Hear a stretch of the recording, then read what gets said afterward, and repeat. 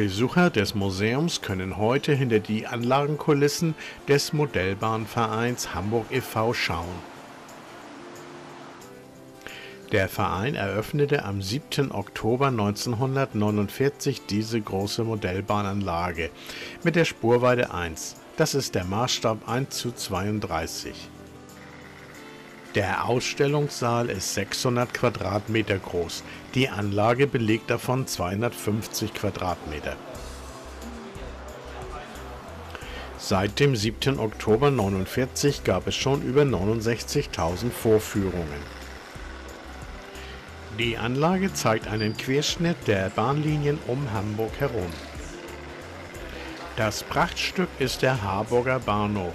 Über die Elbbrücken verlaufen die Gleise über die Pfeilerbahn bis zum Hamburger Hauptbahnhof, der allerdings als Schattenbahnhof gebaut wurde.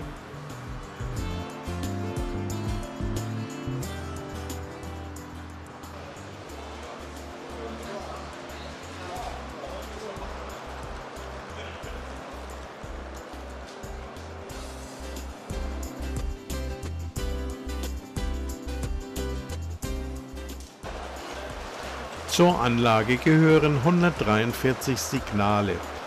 Der Fahrbetrieb wird geregelt über die Gala- und Ringmeier-Steuerung.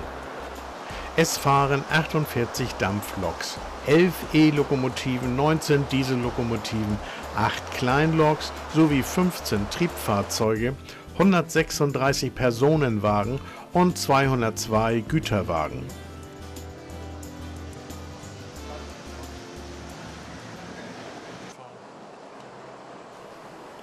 Die Gleislänge beträgt 1200 Meter. 260 Weichen sind verbaut.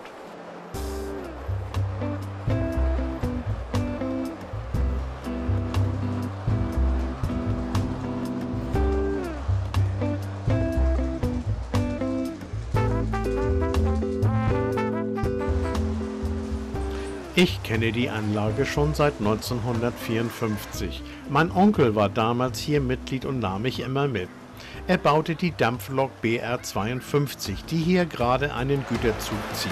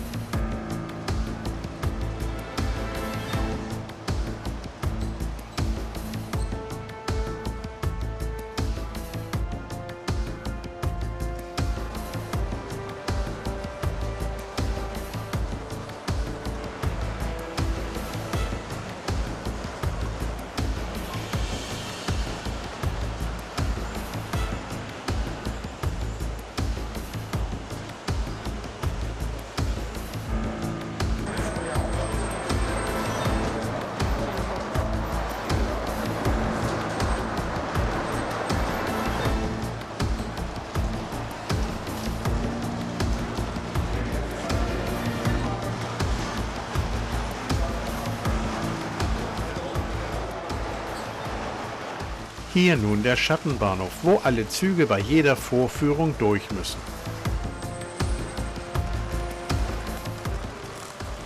Auch die BR 52 von meinem Onkel dreht hier einmal ihre Runde, wo sie dann wieder zur Startposition hinter der Pfeilerbahn geleitet wird.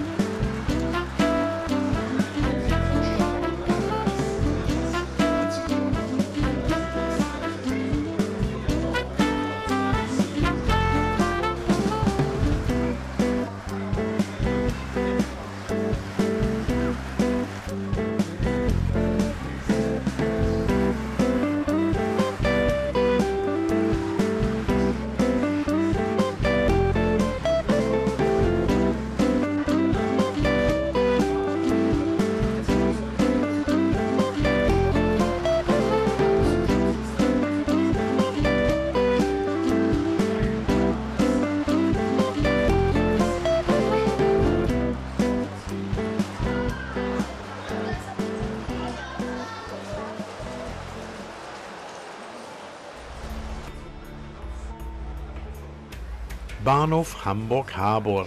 Hier hält gerade der fliegende Hamburger.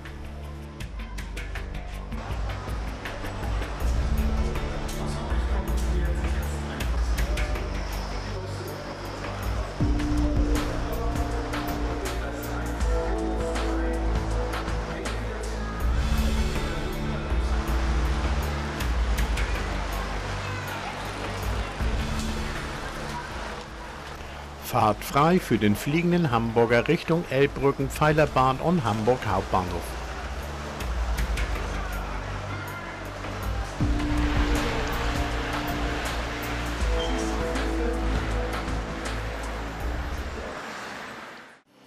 Im glasüberdachten Museumsinnenhof stellten einige Vereine ihre Anlagen mit den Spurweiten Z, N, H0, 0 und 1 vor.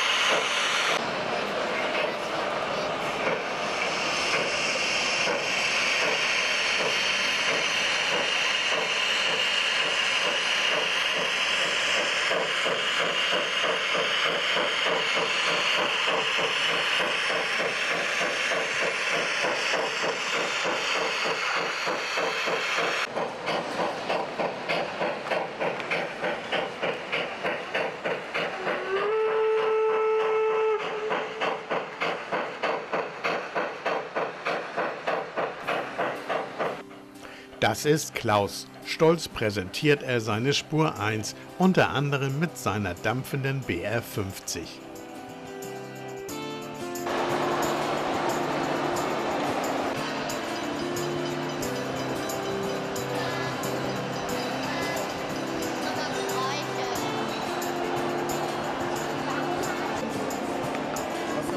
Leiter?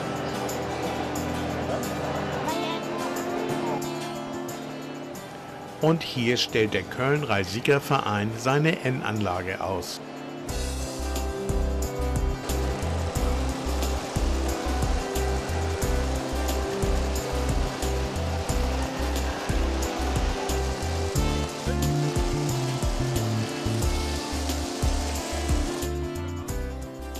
Dampflokheizer müssen Kohlen schaufeln, Aussteller müssen den Kartoffelsalat schaufeln. Und während die Erwachsenen essen, müssen die Kinder Kinderarbeit verrichten und die Zugsteuerung übernehmen.